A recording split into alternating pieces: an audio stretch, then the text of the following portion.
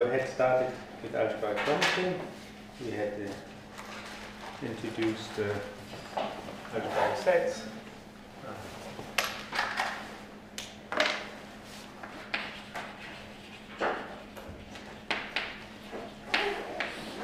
which were zero sets of polynomials.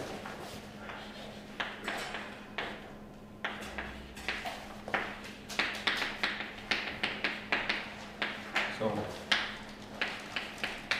subsets of AN. And then we had uh, talked about some simple properties. We introduced the Zariski topology.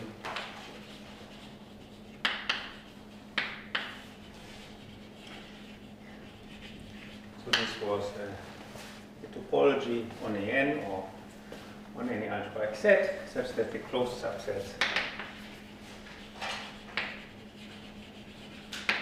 are uh, defined algebraic sets.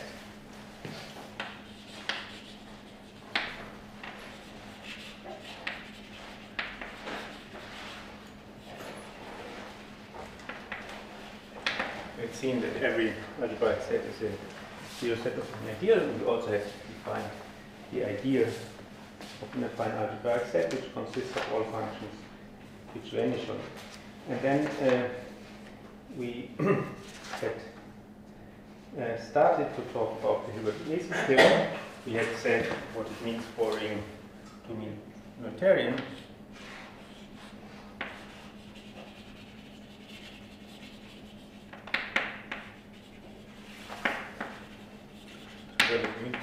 1 is Noetherian.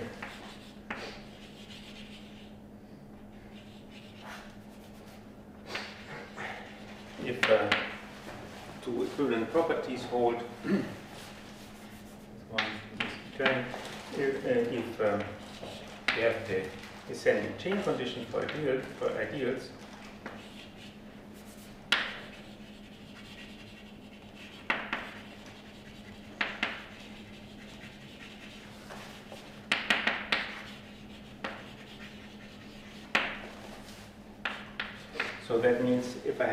chain of ideals, one contained in the other,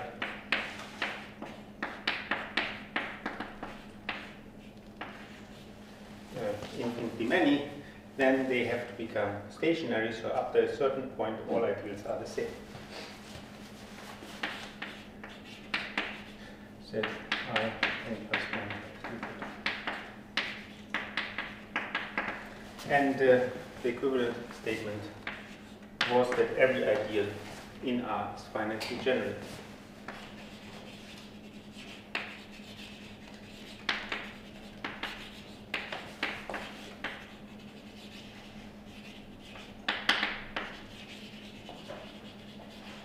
So it has then choose it as the ideal generated by finitely many elements.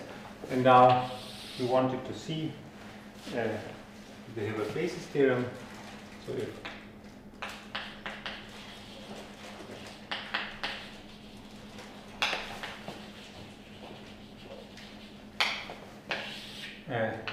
uh, if R is a Noetherian ring,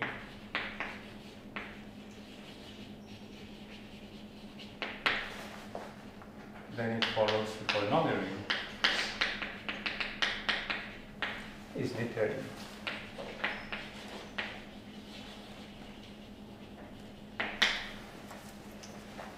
And we are mostly interested in the case that we have K, so it follows if we have a field k x1 to xn is Noetherian.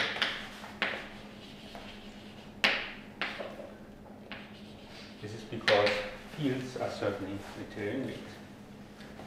Okay, so now let's start with the proof. So we've actually made the task easier by uh, this generalization of doing it with the general ring instead of with K, because now we can use induction. So it is enough to prove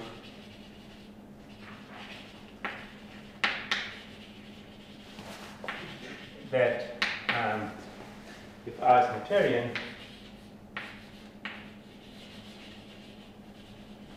And this implies that Rx is Noetherian.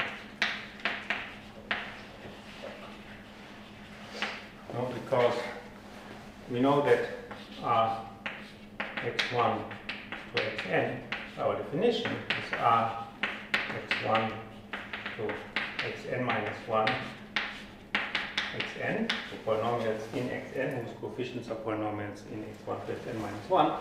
So therefore we can use induction. If we know R is Noetherian, then Rx1 is Noetherian, then Rx1, x2 is Noetherian, and so on. So that's the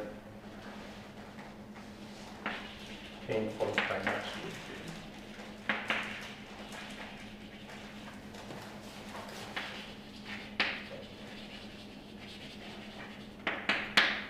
So now we will prove the contraposition. So we assume that Rx is not Noetherian and we want to show that R is not Noetherian.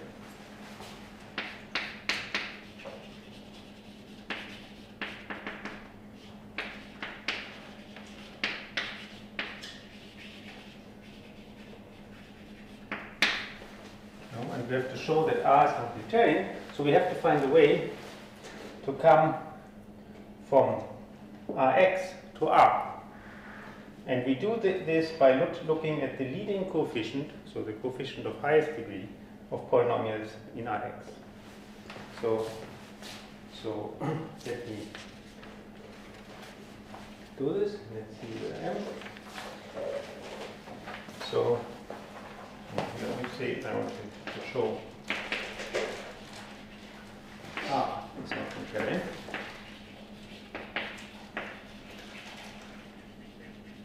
And the idea is to look at the leading coefficients.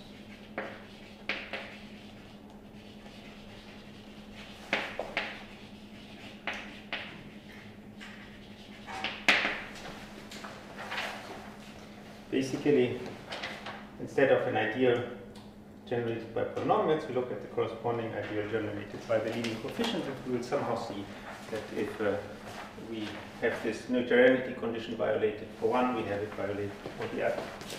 And so, let's see how this goes. So assumed that our x is not Noetherian, so let i in Rx be an ideal which is not finitely generated.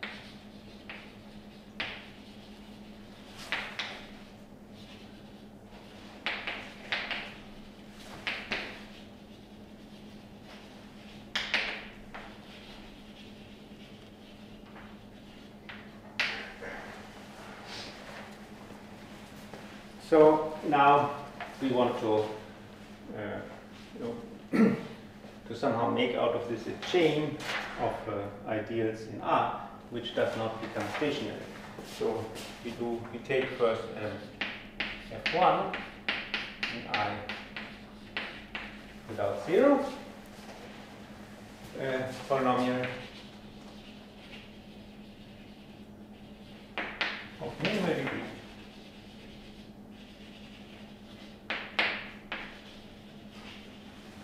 in I without zero. So these are some polynomials. Each of them has a degree, the highest power of x, which occurs with non-zero coefficient. And we take, we choose one polynomial here which has the smallest possible such thing. As these are all positive integers, there will always be the smallest one. So we just take that. And we do this, and we uh, go on inductively uh, that say fn, okay, fn plus 1, you want this? No, we don't. Be the polynomial of minimal degree.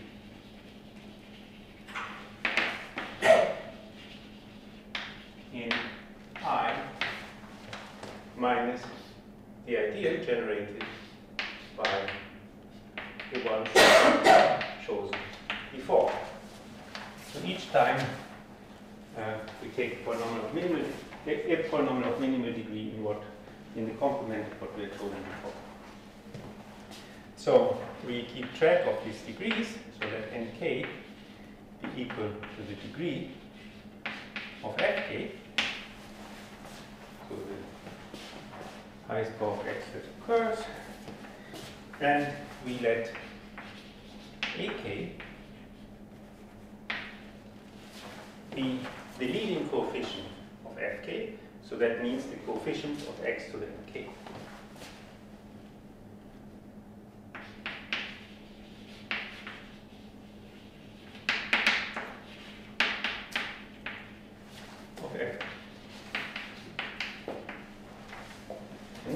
So we should remember, by definition we have n1 is smaller equal to n2, smaller equal to n3, and so on. So they, these degrees grow because here the first one we choose a polynomial of minimal degree out of the whole of i without zero. Next time we choose, you know, this thing in i without f1. So we choose this polynomial of minimal degree in a smaller set. Each time it gets smaller, so these degrees can grow. And we can also look at the leading, at these coefficients. I can look at these ideals. I can look at the ideal generated by A1. This certainly is contained in the ideal generated by A1 and 2, and so on.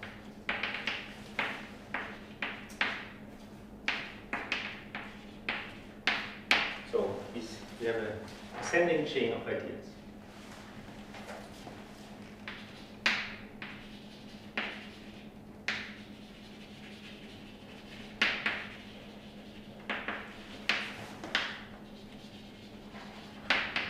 In R, just take the idea generated by the leading coefficients of these polynomials. So we always get one by one. So we have an ascending chain of ideas, and I claim this chain does not become stationary, thus R is not integral.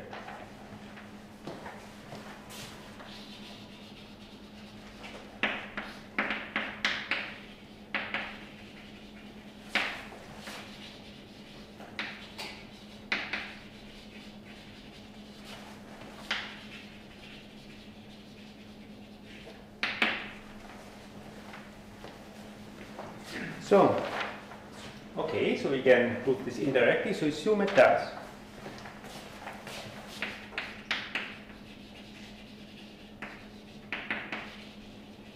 So if from some point onwards they are all the same, then it must be must be one point where one such ideal is equal to the next one.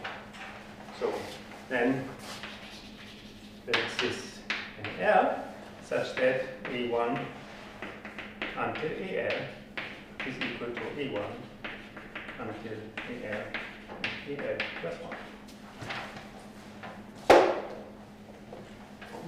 Okay. And if we want to show that uh, this cannot be, so the, these ideas are this chain in this change, the exclusion is always checked.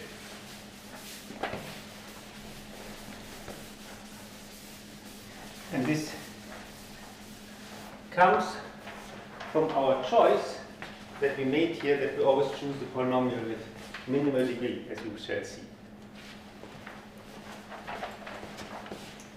So assume, assume it does, uh, and then what? Um, where am I?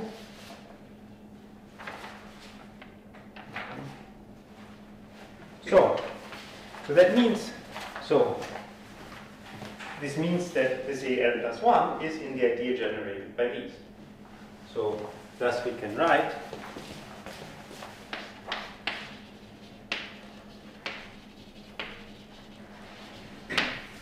AL plus 1 is equal to sum i equals 1 to L EI AI with the EI some elements in R. That means that uh, this element lies in the ideal generated by the AI. So we can write down the following. We write down a new polynomial, which we call G. uh, which is fl plus 1 minus the sum i equals 1 to L bi times x to the n L plus 1 minus ni times fi. Okay, so this I claim is a polynomial.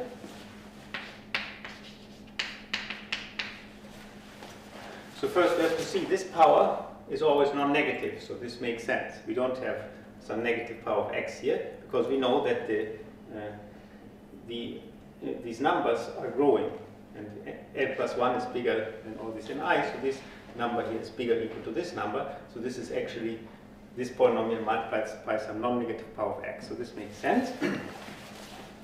and so first we note that G uh, is an element in I, in, uh, yes, our I minus F1 until Fn.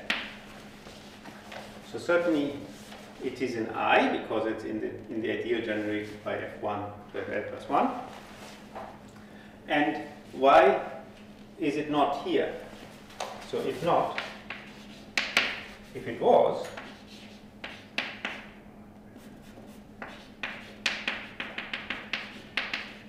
Uh, then you would have that we can bring this to the other side. No? We just bring this whole thing to the other side. We would have that fl plus 1 which is equal to g plus the sum i equals 1 to l bi x to the nl plus 1 minus ni times fi, that this would be an element in f1 to fl. Because if g lies here, all of these lie here, so we would stay in this idea. But you know, we have chosen fl plus 1 not to lie. Okay? So this cannot be.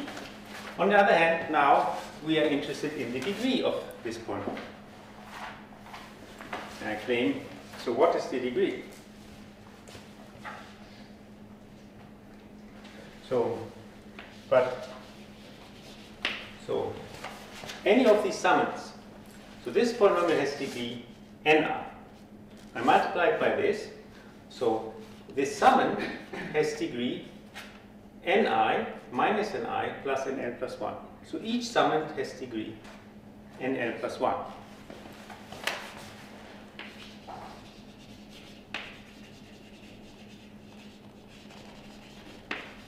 of uh, uh, and also this obviously has degree at nl plus 1 because that was the degree of this of uh, g S degree uh, n L plus 1. So in particular it follows that the degree of G is at most n L plus 1, but we can also look at the leading coefficient. So the coefficient of x to the n 1.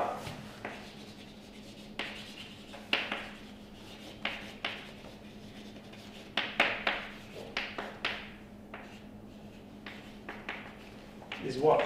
We just look at it.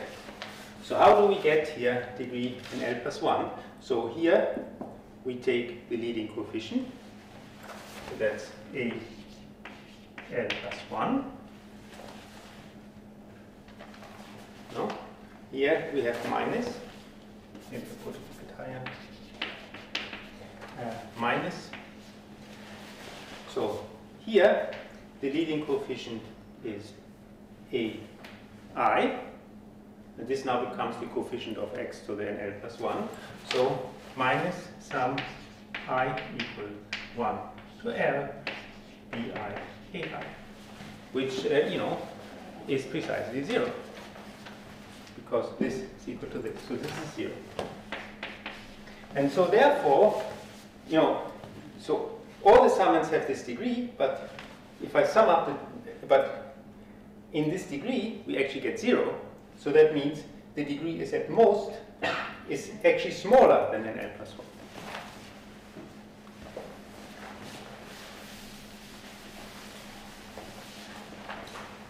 So thus, the degree of G is smaller than L plus 1. And notice that this is a contradiction to our choice. We certainly were free to choose uh, our L plus 1 to be of minimal degree. And now we have found one thing which has the same properties of smaller degree. This is the contradiction. And so that means it was actually impossible that we could write this. And so it means that uh, uh, this chain did not become stationary and uh, R was not unitary. Okay, that proved it. Okay, so this was this thing. As I said, this is a it's a remarkably simple proof for a kind of uh, originally quite difficult theorem. You know, somehow it seems like somehow the optimal way. I mean, you know, to find such a trick. I mean, there you can also one can maybe have also more direct proofs, more constructive ones, but something as slick uh, somehow. Uh, you know, there's this. Um, you know, it's kind of like it was the, the optimal proof. Um, uh, okay. So now we want to give some more, some geometric applications of this, which are actually, it's not at all clear why this should be uh, an application, I mean why it should follow. But there is a geometric application which basically says that every affine algebraic set can be written as a finite union of smaller affine algebraic sets which cannot be further decomposed. So you have some kind of, so um, these are the irreducible components. We'll soon see what the statement is.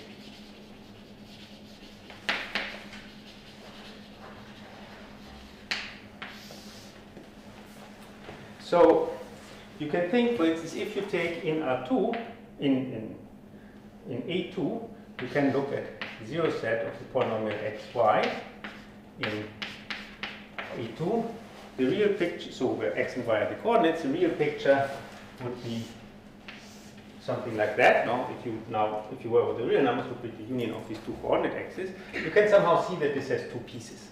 No?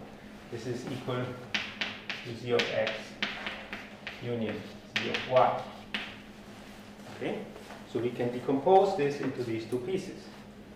Um, and uh, you will, we will call an affine algebraic set irreducible if it cannot be decomposed in such a way. If we cannot decompose it as a union of two closed subsets unless one of them is already equal to it. So you cannot decompose it as a union of two smaller closed subsets. So irreducibility is a bit like a much, much stronger version of connected. connected means you cannot decompose it as a union of two uh, of two uh, closed subsets which don't which uh, don't intersect. No, you cannot write it as a union of two closed and disjoint subsets. Here we just say we cannot write as a union of two closed subsets unless one of them is already equal to the whole thing. Obviously, you can always take, yeah. And so that's a much stronger statement. and it's also a statement which doesn't, it doesn't even make much sense to talk about such things with a normal topology. You know, what would be an irreducible subset of uh, whatever R with a, you know, with a usual topology? I think the only such subsets would be points. No? So it would be nonsensical, but with the Zariski topology, this becomes an interesting problem. Okay, and so let's see how this works. So, so in, in affine algebraic set,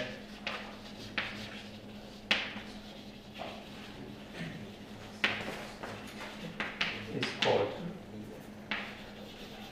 irreducible Uh, if it cannot be written.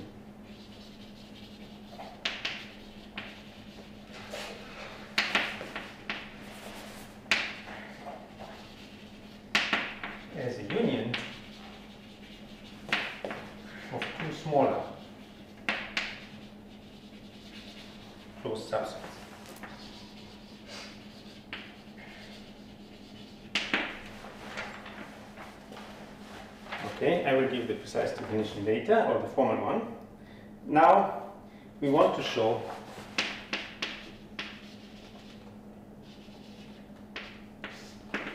every affine algebraic set is the union of finitely many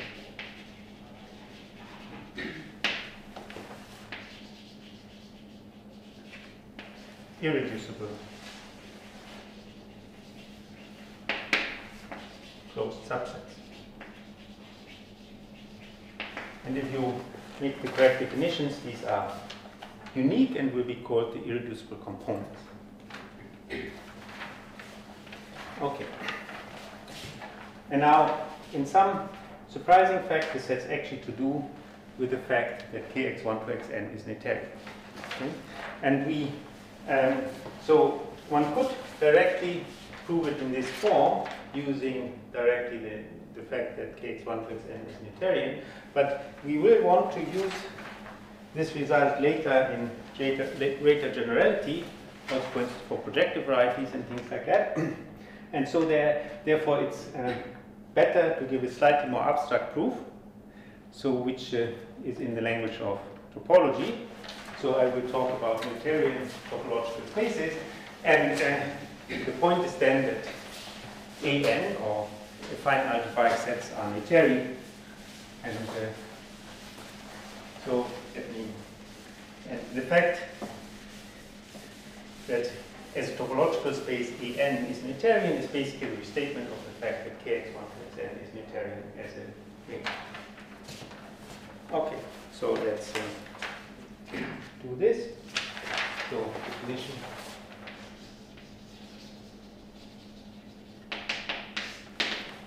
A topological space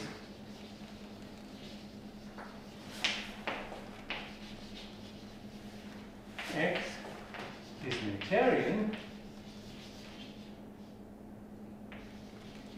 if it satisfies a kind of chain condition very similar that as the one to the ideals we had before. Ah, no, actually, I first I didn't want to do that. First, let me talk about irreducible. It is for irreducible, called reducible. If I can write it as a union of two proper closed subsets. So, if x is equal to x1 to x2 with x1 and x2 closed subsets of x and they are proper closed subsets.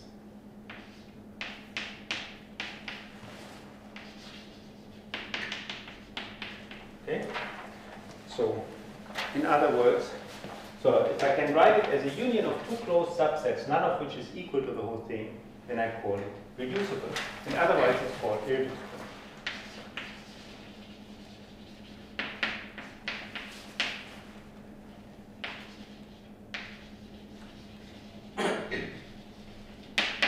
Okay.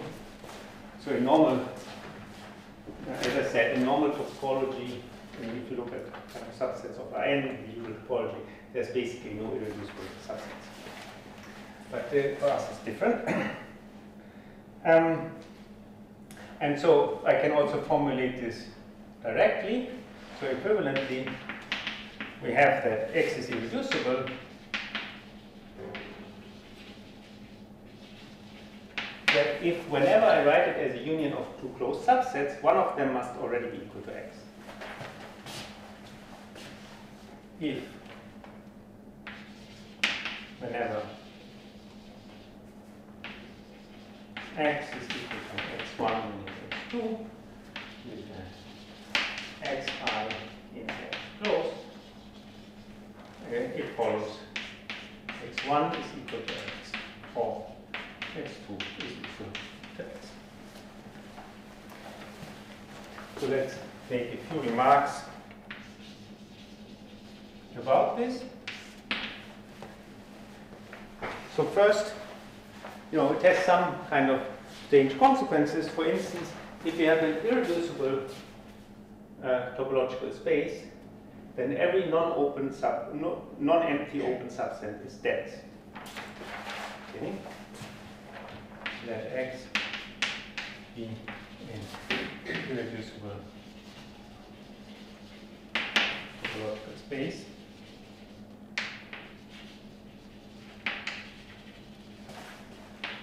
Um, and U in X non-empty and open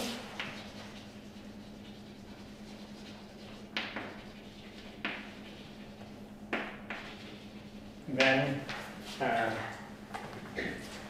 U is dense. So its closure is the whole of X. And this is follows directly from the definition. We can write X equal as X minus U union the closure of U.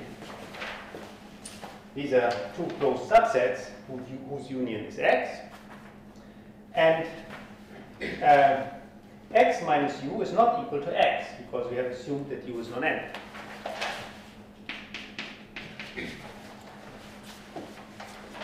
And both are closed.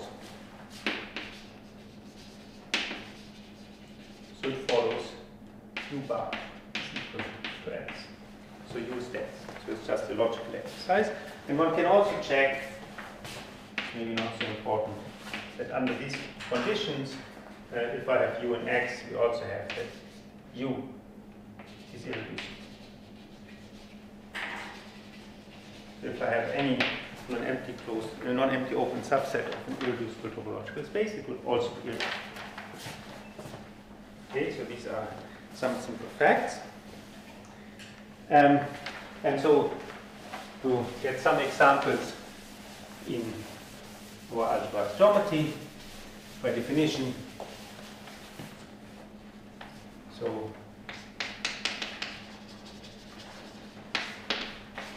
the point P in AN is irreducible.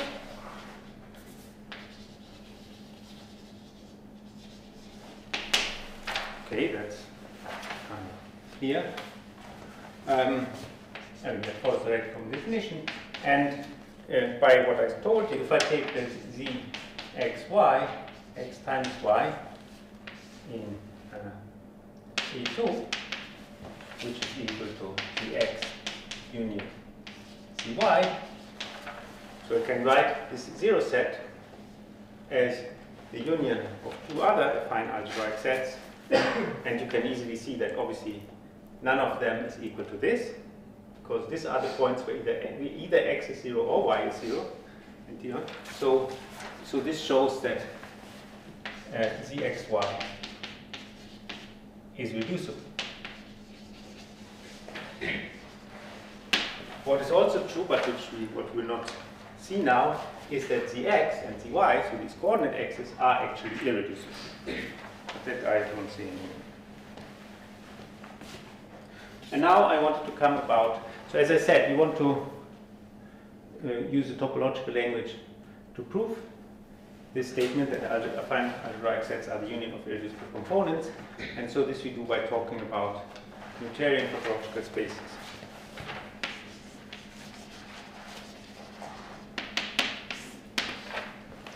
So a topological space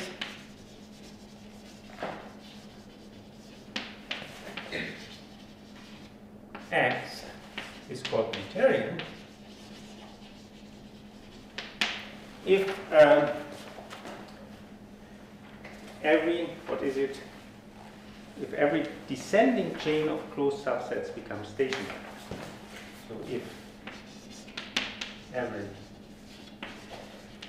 descending chain x, x contains x1, contains x2, of closed subsets becomes stationary. So that means we have infinitely many closed subset, one contained in the other, and become stationary means that after a certain point they have to be all equal.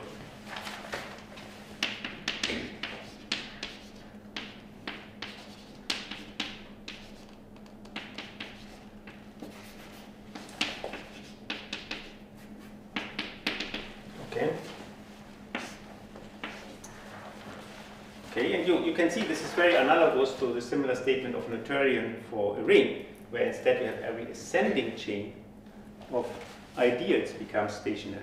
So when here the sets become smaller, the ideal becomes bigger, bigger. But that's kind of obvious that this should be the relation because we were thinking of the ideals of, uh, of an affine algebraic set. The bigger the ideal, the smaller the set. Okay, so now let's see. we? Where am I? Mhm.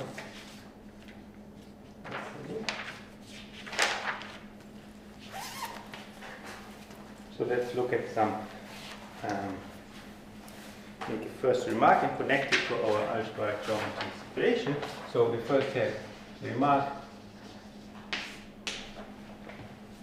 So first, any subspace of a Noetherian topological space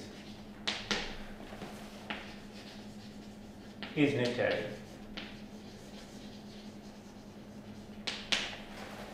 Okay, that means if I take a subset of a Noetherian topological space with the induced topology, it will also be Noetherian. And so, how does it work?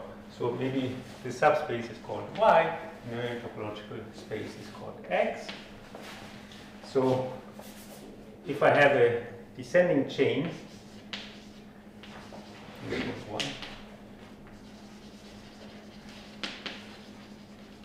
of uh, of subsets of Y,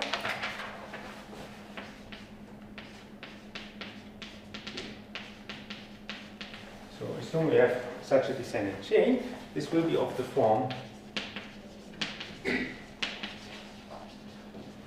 uh, yi is equal to y intersected with xi with the xi in x closed.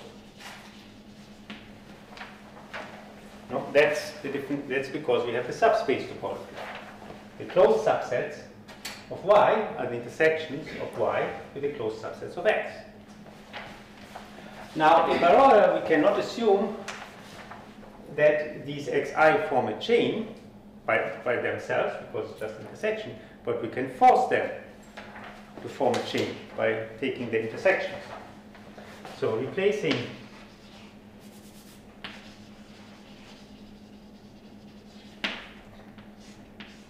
xi by uh, intersection from j from 1 to i. Xj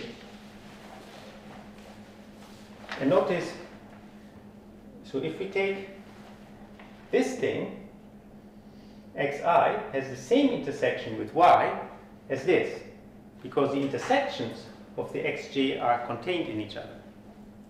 No, we know that yi is y intersected xi, and we know that it's descending. So if I do this, uh, so notice uh, which have the same intersection.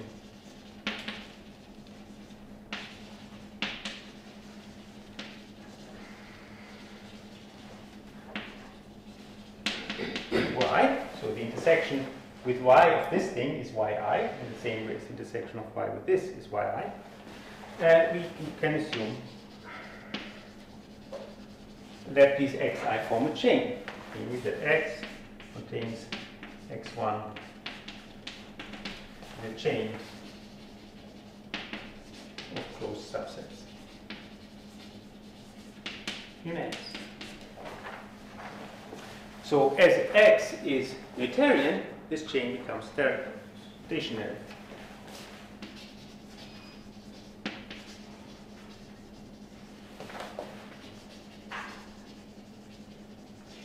And as the yi are just intersections of y with the xi, also the chain of the yi becomes stationary.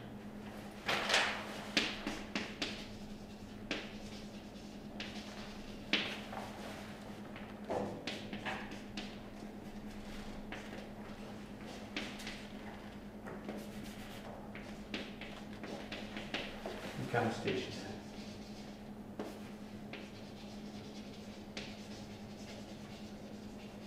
So if I have a Noetherian topological space, then any subspace of it is also Noetherian. And now I want to see that AN is Noetherian. So therefore, any subspace of AN is Noetherian, and thus in particular, every affine algebraic set is Noetherian.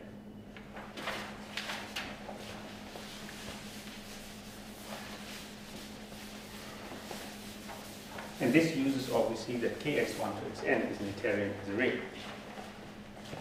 So an and thus any, but in principle any subspace of an, but in particular any affine algebraic set.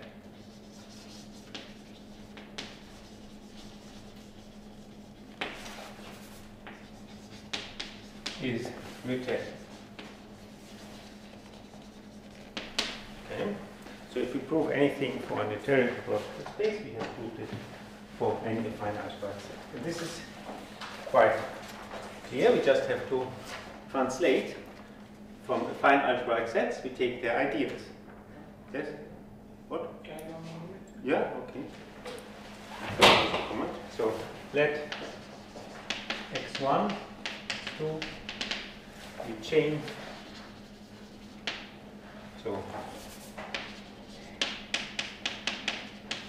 chain of closed subsets. Of AN, obviously with the Zariski topology, so a chain of sets. So then we can look at the ideals. Then, so it's a descending chain, then if I take the ideal of x1 So this will be contained in the ideal of x2 because to, be, to vanishing on a smaller set is less conditions.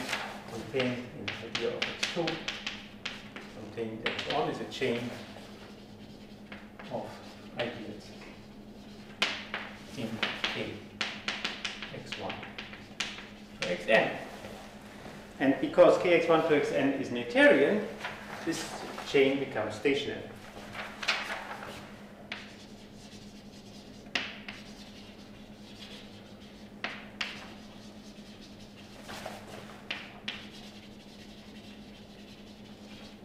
So that means i of xn is equal to i of xn plus 1 and so on. But now, remember that um, I said last time, I think you called exercise, and anyway, maybe giving a proof later.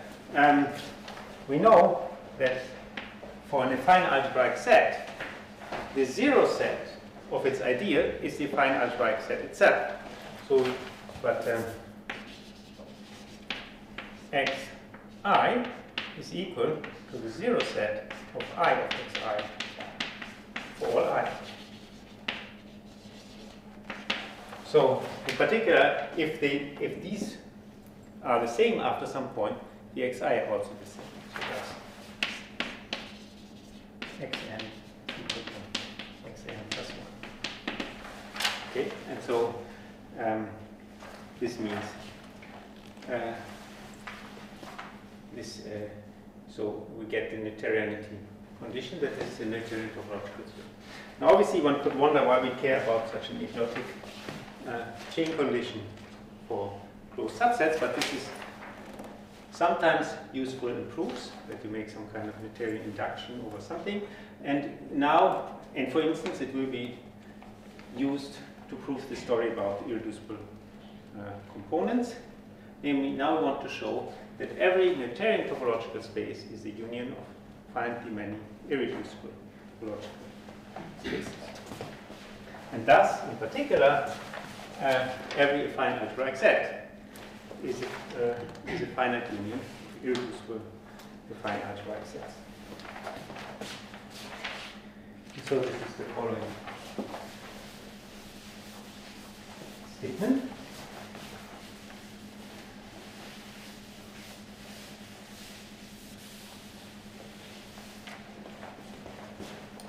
So, theorem definition.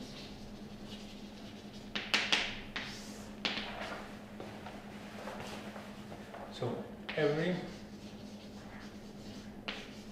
Noetherian topological space is up to reordering in a unique way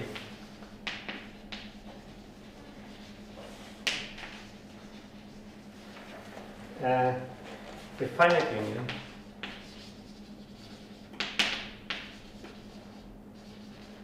x is x equal to x1 union union xr of irre irreducible closed subsets.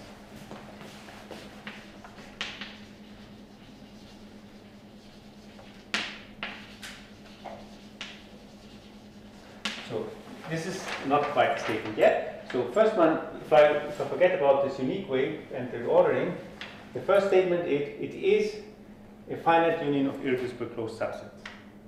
Now, if we, I put an additional condition, uh, this decomposition becomes unique up to how I number them.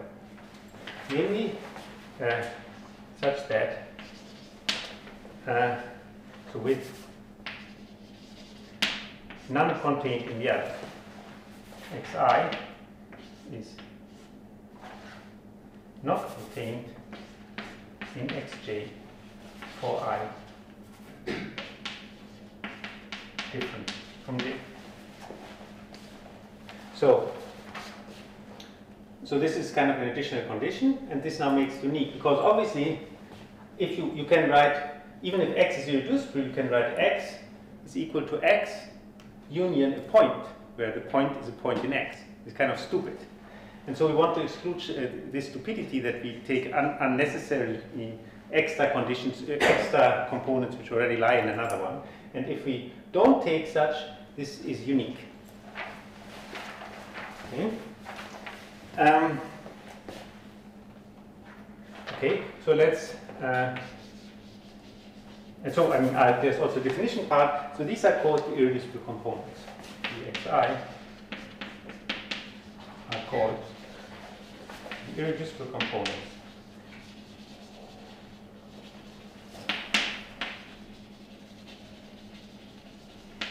of x.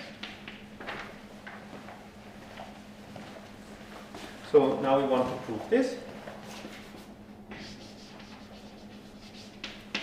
The important part is this existence, namely basically we just need to show that we can write X as a finite union of irreducible closed subsets. This condition is then easily fulfilled by just throwing away those, those parts which are contained in another one. No, that doesn't change anything. So, enough.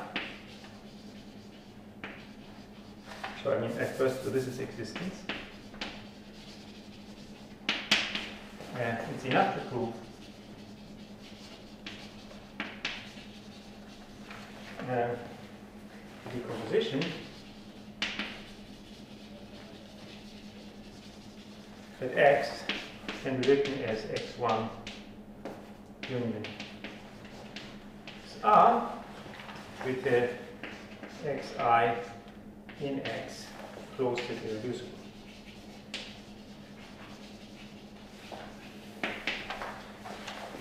The condition that no xi is contained in another xj is just, is just fulfilled by saying if an xi is contained in another xj, I remove it from the decomposition because the union of the other ones will, still be x because this already was contained in one of them. So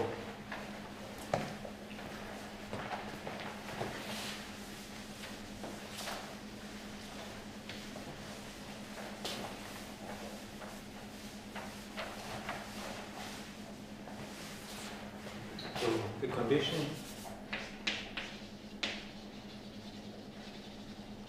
that x, what is it, i not containing xj uh, for i different from j is just fulfilled by removing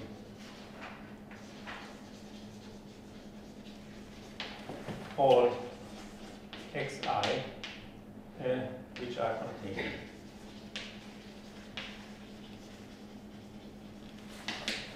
in another xj.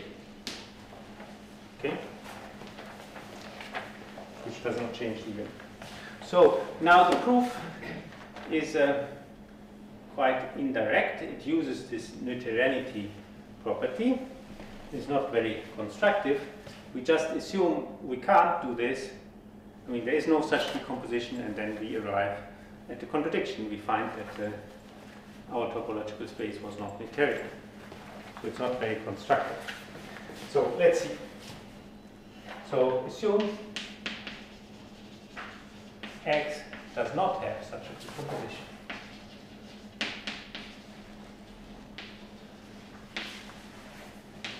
Finite decomposition.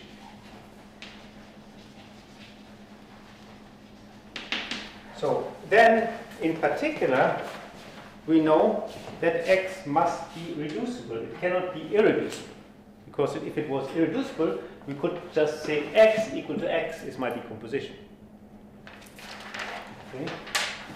So then, in particular, x is reduced.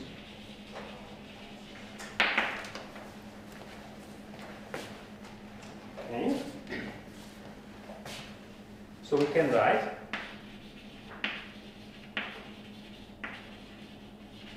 say x is equal to x1 union y1, where x1 and y1 are closed.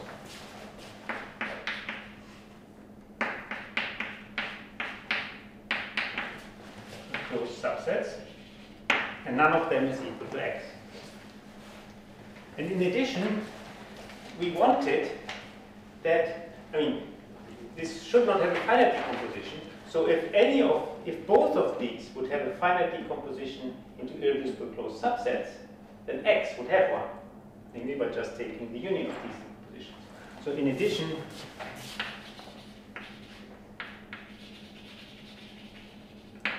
one of them, and you know, I choose that the one of them for which is true is x1, and say x1 has does not have. Decomposition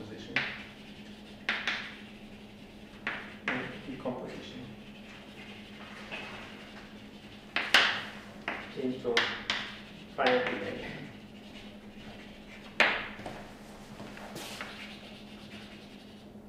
Irreducible closed subsets.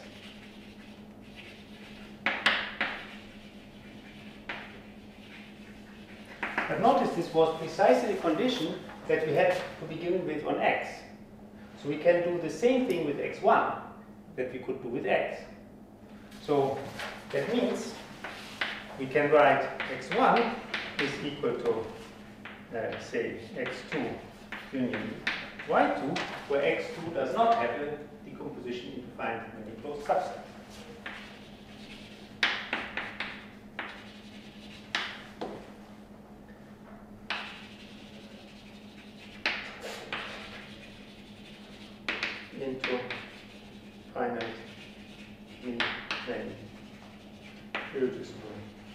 closed subsets. And so we induction. So we have x1, and we do so we do it with x, we get x1, which doesn't have a finite decomposition, we get x2, which doesn't have a finite decomposition into closed into irreducible closed subset. So we get a chain of closed subsets which do not have such a finite. So thus get a chain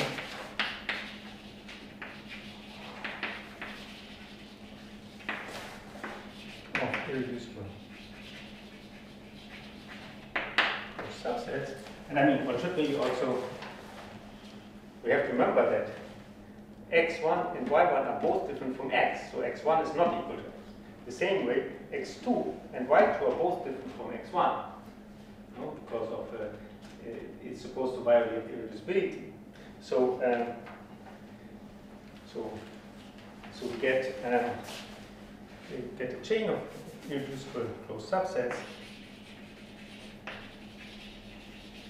So x strictly contains x1, which strictly contains x2.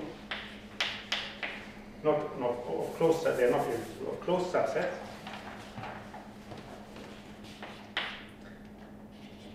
An infinite chain method.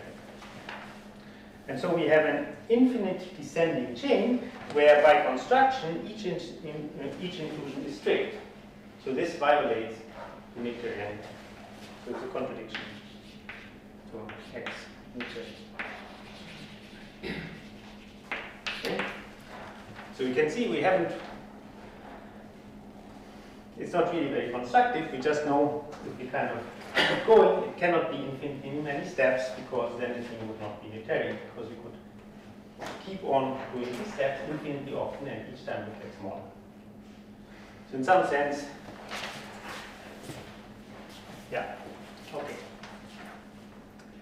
If you want to say constructively, it would mean if you just start, take one irreducible piece and split it off, and you keep going, eventually it will have this decomposition. At some point it will stop, because it cannot go on infinity So in that sense, it's not so indirect to think of it like this.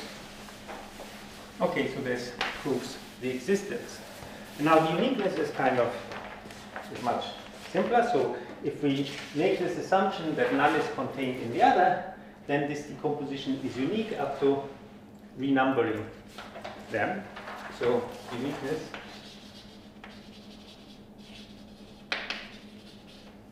is also not so important. So assume that x1, so x can be written as x1 union xr and also as y1 union union ys. Don't, don't have to be the same number, x power i. Uh, so let these be two such decompositions. Two decompositions into irreducible subsets which also satisfy this condition. So xi is not contained in xj for i different from j and yk is not contained in yl for k different from l. Okay, and then I have to show that these things are just the reordering of these. So I have to show that R is equal to S, and you know, and as a set, these are the same. Mm each xi is equal to one of the yj's and vice versa. So I can look, I take any of the i's, so xi, uh, I know that x is a union from y1 to ys. So if I intersect, so therefore xi is the same as union i equals 1 to s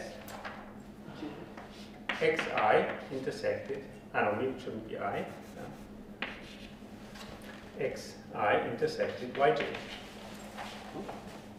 And these are closed subsets of x. So we have now, we have an irreducible closed subset written as a union of closed subsets of itself. According to the fact that this is irreducible, one of them must be equal to, uh, to, to xi.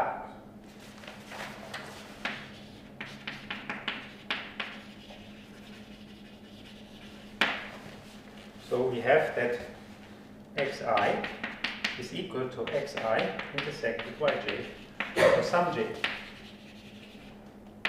And notice this is equivalent to saying that xi is contained in, in yj for this j. So I know that every xi is contained in one of the yj's. Obviously, I can also, eh, in the same way, I could also exchange the role of x and y here in the same way.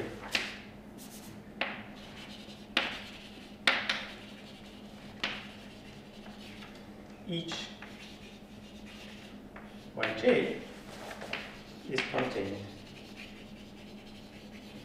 in some x something, so maybe some xk, in some xk. No? And now we are basically done. So I take my xi, so I have xi is contained in yj, and this is contained in xk. So, but we know that this cannot happen. xi cannot be con contained in xk unless i is equal to k. As it follows, i is equal to k. And so these two outside are equal, so the one in the middle is squeezed between them, it has to be equal to both of them. So thus, xi is equal to yj. And so each xi is equal to one of the yj's. i is equal to k. What? Yeah, so, so, uh, yeah, yeah, obviously equal. I meant equal. Uh, I wrote the opposite. so, so each xi, okay. So each xi is equal to one of the that each xi is equal to one of the yj. And obviously in the same way I can exchange the role uh, of uh, the x uh, and the y. We get that each and each yj is equal to one of the xi. So they're just reordering of each other. They are the same. Up to.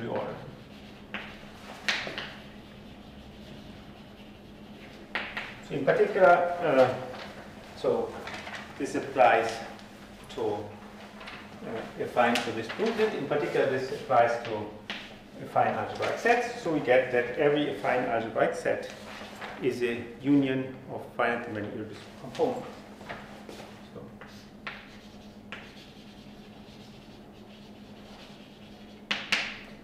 every affine algebraic set is a union of finitely many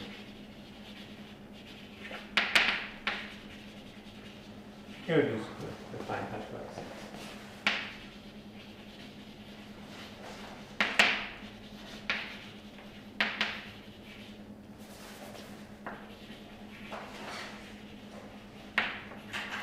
So, in some sense, therefore, if you know the irreducible affine algebraic sets, you know all algebraic sets because they're just unions of the others.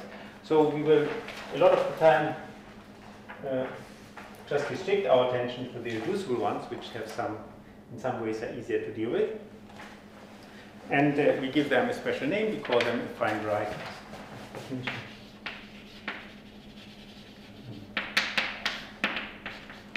an irreducible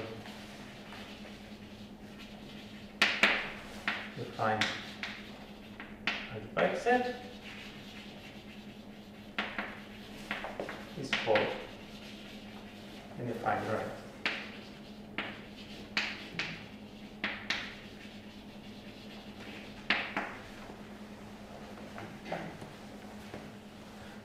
Um, I mean, we will later maybe slightly, general, slightly this definition when we know what needs to be isomorphic, but for now, this is the definition. Um, what? Is there classification in R2? Affine variety of R2? R2, well, in any way, we work over the complex numbers maybe, but then, so I, I don't know what you mean by classification. I mean, you can say, circles and lines, for example. ah, in R2 now you want to say, okay. Uh, yeah, it could, there's some, there's some, uh, I mean, if you have a, so you have either R2 or you have some could I mention one thing, which would be some kind of union of ovals or something like that.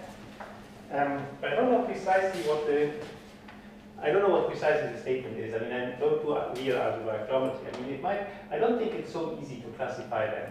I mean, it's not, um, I mean, in principle, you know, there's many kinds of um, so if you're in, in C2, you can, you know, obviously there are kind of different issues. So the curves, so if you have just one equation, you get uh, something which one call an algebraic curve. So with the complex numbers, this would be a Riemann surface if it's non-singular, but it can also have singular points. And singularities can be arbitrarily complicated, contain essentially infinite amount of information, and otherwise you have the complete classification of Riemann surfaces up to complex, uh, uh, I, I mean, I mean holomorphic isomorphism. So it's not, I mean, there is some kind of classification. Obviously, if you do it in an arbitrary dimension, things can be arbitrarily complicated, and there's no hope of any kind of classification. And uh, there is some maps that preserve the structure, like in topology homeomorphism. Yeah, yeah, but that we will have later. But I mean, you can imagine, at least for these affine varieties, uh, the most natural thing for such maps is uh, that the maps, coordinate-wise, are given by polynomials. So that, at least as first approximation, is a nice definition for the maps one wants to look at. You, if you can, such a thing you call a morphism, and if you have an inverse morphism such that you have the identity, you call them isomorphic and such things. Yeah. But uh, if one wants to do it in bigger generality, these morphisms are a little bit more difficult to handle and then need some preparation. We cannot just say that, that they are continuous map between AN and AN for the respect to Zariski topology.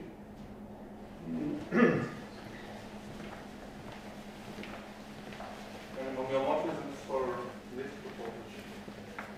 I don't think that's enough.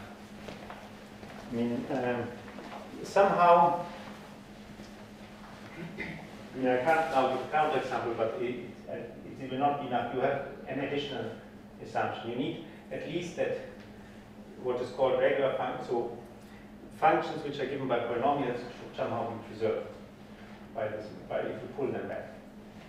Otherwise, it will not work. Uh, and so it's not, it's a bit more, I mean, obviously that it follows, whatever definition you do, they will certainly be continuous in the Zariski quality, but it's not quite enough.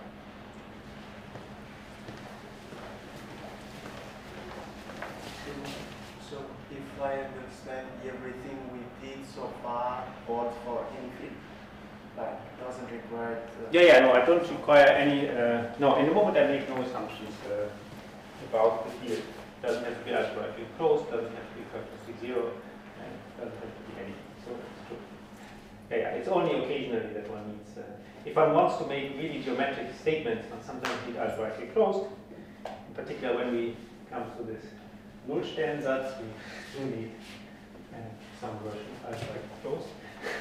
so, so the nice, this very simple German name, very easy to pronounce for a German.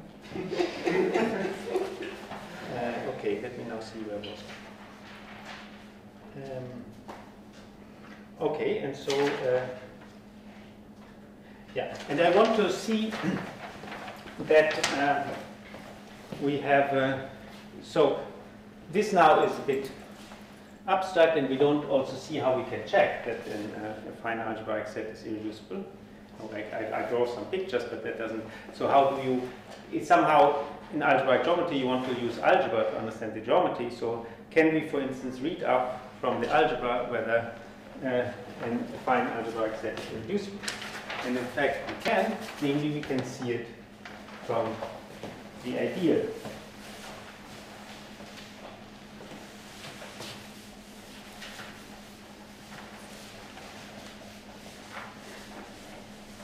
So um, the following statement. So proposition.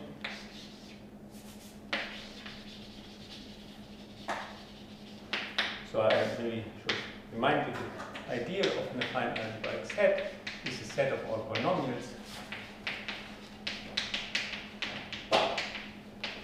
So if, if x is in the end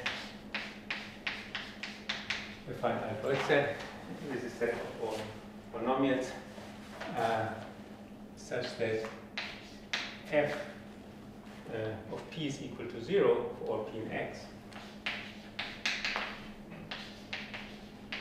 Or if you want, f restricted to x is 0. Okay, now, so this is somehow the, an ideal which is naturally associated to my affine algebraic set x, and I want to see property from it. So so x in the end is an affine algebraic set. And then x is irreducible if and only if ix is a prime.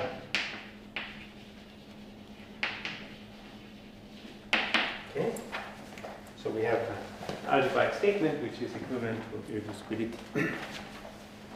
That's quite, so in particular, for instance, we see, which would not be a priori, obvious that uh, if I take an, this is irreducible. Because the only polynomial which vanishes on the whole of the n is zero. And so the ideal zero, it was the ideal zero, is certainly a prime ideal in Kx. No, because we are uh, over a field, so polynomials have coefficients in a field certainly there's no zero divisors and uh, you know. So just as an example, so we for instance see it follows from that if we just take the complex line like this or the real line, uh, we cannot write it as a union of two closed subsets unless one of them is equal to the whole thing. That's one of the properties of the heuristic form. Okay. okay, so now let's prove it. Ah, so what am I thought? So we have two directions, obviously. We assume that x is reducible.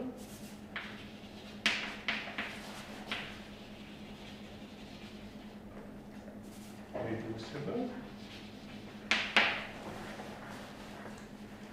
And we take two elements in I of x.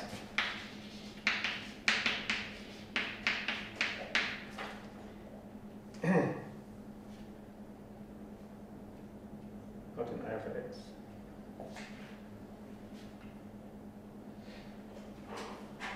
Uh, so just f and g are two polynomials. And with uh, this product is an element in I of x. No? So then we have to show that one of them is already in I of x. So that means it's prime. So if f times g is in I of x, it follows that x is contained in the zero set f times g. which is the same as the zero set of F union the zero set of G. So that means I can write X equal to X intersected the zero set of F union X intersected the zero set of G. And these are two closed subsets.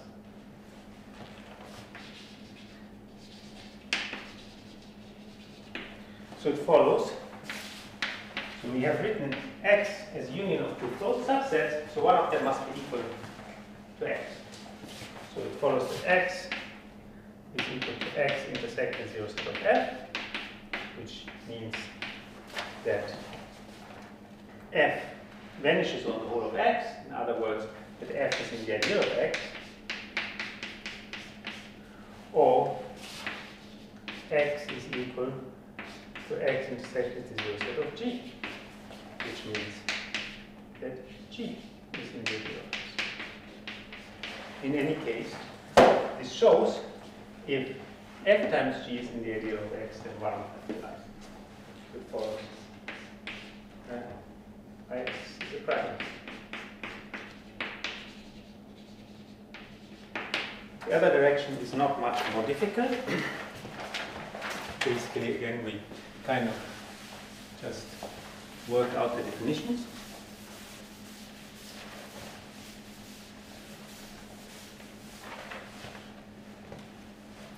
So we make an indirect proof, so we make the contraposition.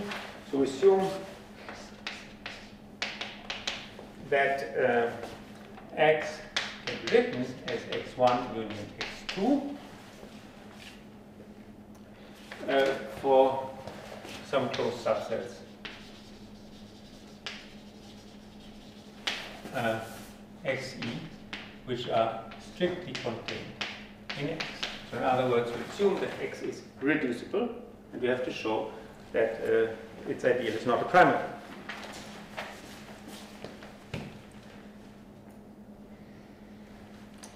So we know that the zero set of the ideal of x1, no, this is a, affine algebraic set, the zero set of its ideal is x1. and this is strictly contained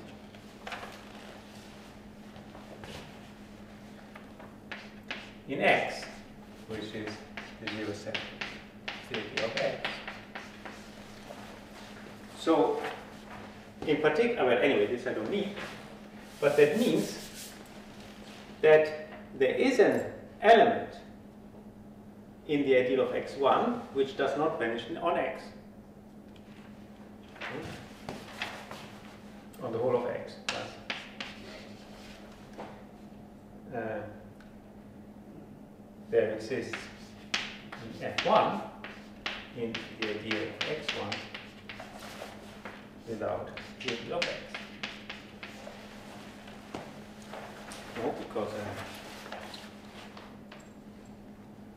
if uh, you know, we see that uh, the zero set of this is actually smaller, so there must be one element whose zero set does not contain the of x.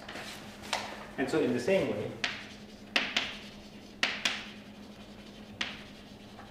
there exists an element f2 in the ideal of x2 minus the of x.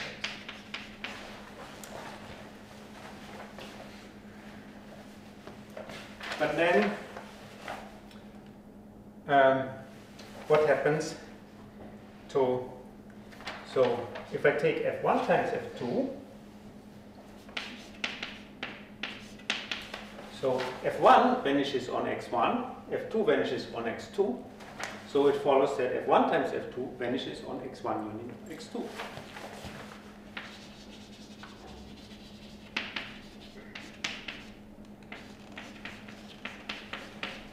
So that's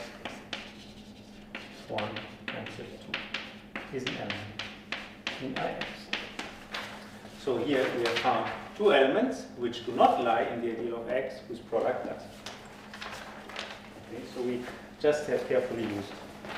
Did you finish? And so then Ix is not defined.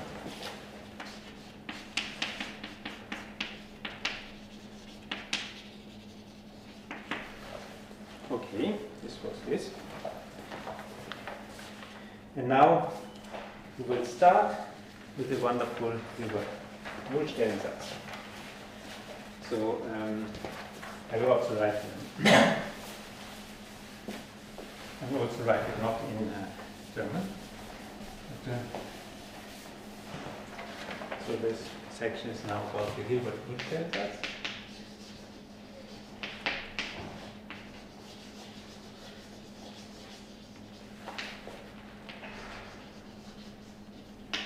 So that means translation would be Hilbert theorem of zeros.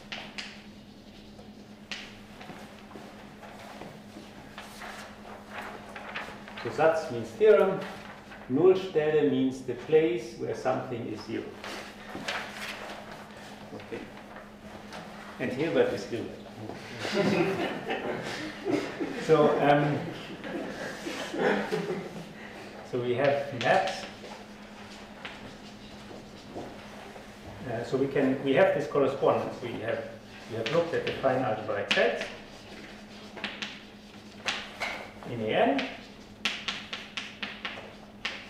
and we have looked at ideals in K x1 to xn.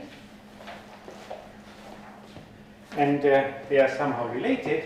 We can, if we have an affine algebraic set, we can look at its ideal. So x is sent to the ideal of x. If we have an ideal in kx1 to xn, we can look at its zero set. So say J is left. to the zero set of J.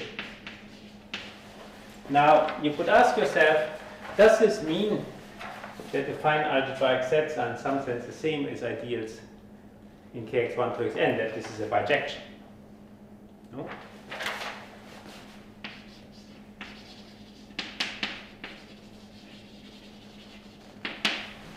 Or if it's not a bijection, you know, where does it fail and in what sense might it be almost a bijection?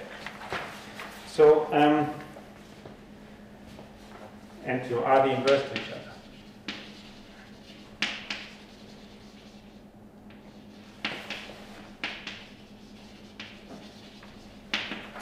So, we have the following remark. First, uh, we have already seen this, but I just repeat it to. Uh, so if we have an idea, so for an idea,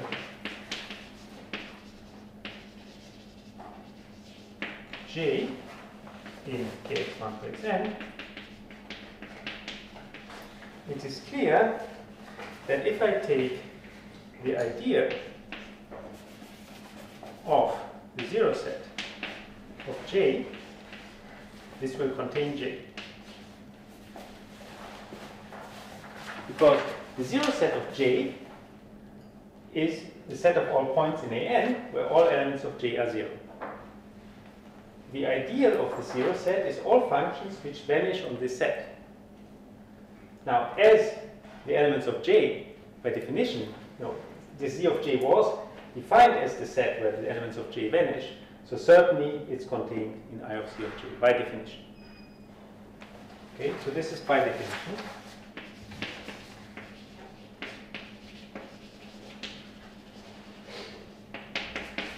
But uh, on the other hand, I've already told a few times, and it, I call it exercise, we know also that um, if we do it the other way around, so if x in an is an affine algebraic set, then if I take the zero set of the idea of x, this will be equal to x. And maybe, you know, I before I made an exercise, but now I will maybe also prove it. So by definition,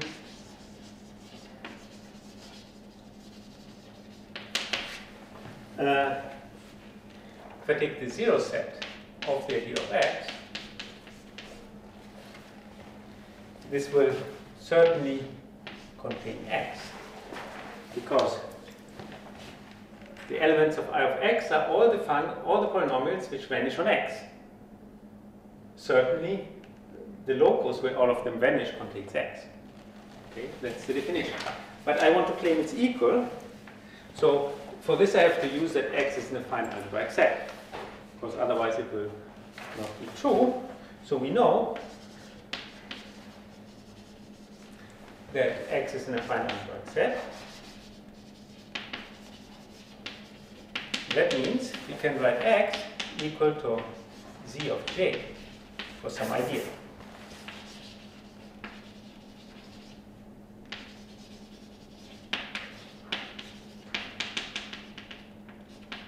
Oh, we know that every finite algebraic set is a zero set of an ideal.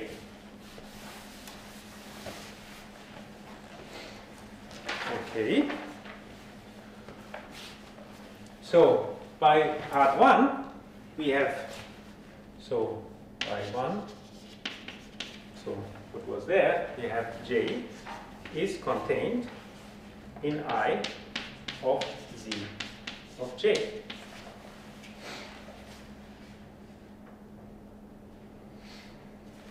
which is I of x. But we know if the ideal becomes larger, the zero set becomes smaller. So thus, x, which is the zero set of j, uh, contains, is correct? Yeah. So j is contained, so this contains um, the uh, zero set of the ideal of x. So thus we have both inclusions. x is contained in the zero set of the ideal of x and it contains the ideal of the zero set of x. And so we see therefore if we look at these two maps, if we make this, comp this composition that we uh, that we start within a finite algebraic set, then take its ideal and then its zero set, we get to where we started. If we do it the other way around, if we start with an ideal, they take its zero set and then take the ideal of that, then maybe we get to where we started or maybe we don't, we haven't decided yet. But we have this inclusion at least. So, uh, yeah.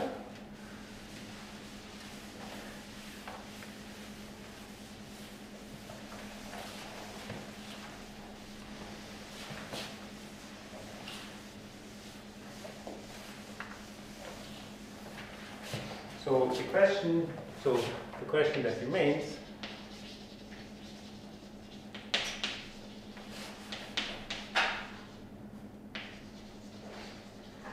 is uh, is for, for for an ideal J is the ideal of the zero set of J equal to J or if not, what is the relation?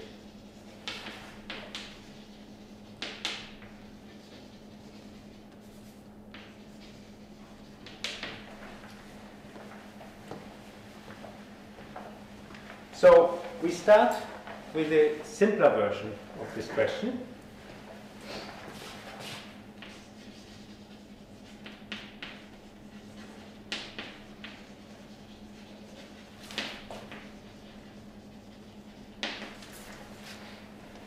Namely, um, we can look at the special case where the zero set, you know, say is the empty set.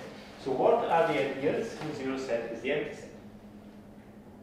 So um, you know, we know that the zero set of the whole polynomial ring is the empty set. Now the question is, is this the only ideal in the polynomial ring for which is the case? So what are did is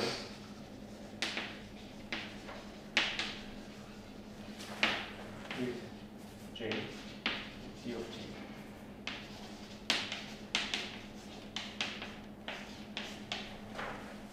So we know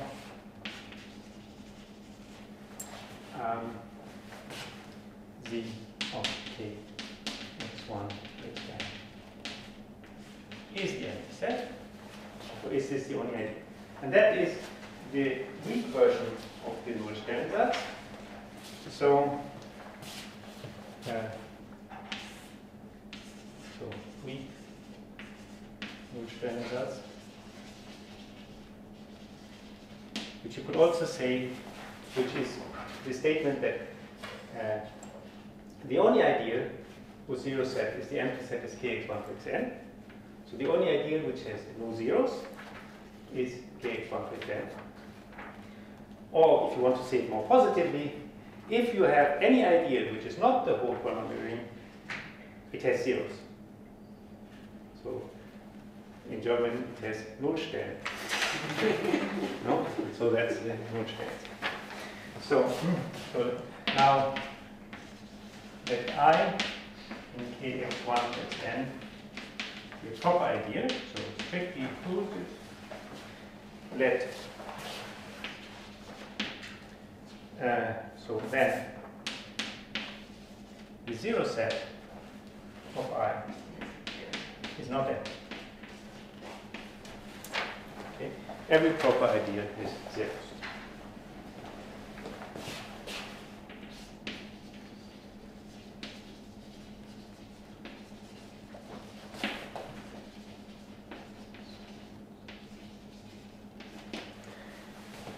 Let me just see when is a good moment.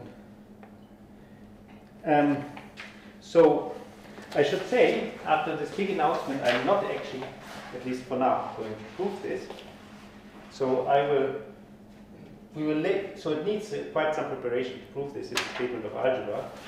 Uh, if uh, we feel like it, we could prove it much later in the course when all the preparations have been done for, because we need them for something else. Um, so when we talk about dimension, but otherwise I just leave it as a statement. So it's an algebraic statement, it requires a couple of lectures to prove. And I don't want to do it at least now. Uh, I just want to state finally, uh, ah, and I should say, there's one assumption that I'm missing here, which is related to his questions, namely, this is, assume here, uh, so we have here assume,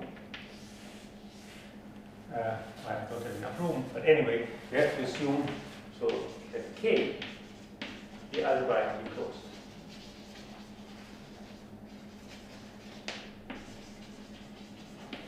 If K is not algebraically closed, the statement is false. There are plenty of ideals whose uh, zero set is empty. For instance, you can see uh, in, uh, for instance, you know, just as an example, I don't have it. Uh, if you take uh, the ideal generated by say x squared plus 1 in Rx the real numbers, then so this obviously, uh, you know, this the zero set of that is m. Uh, so if I take not the zero set of this polynomial is m. So this is the same as the zero set is empty. Because obviously there's no real number whose square is minus 1. Okay. But, uh, and, okay, and then maybe as a last statement, uh, the way we usually use this result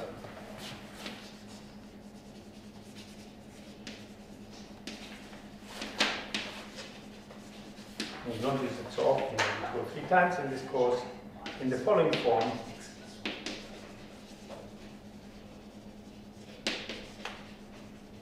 Namely, um, this is the following statement. It's just reformulation. Uh, if, if I take an idea in kx1 to xn, in idea whose zero set is empty,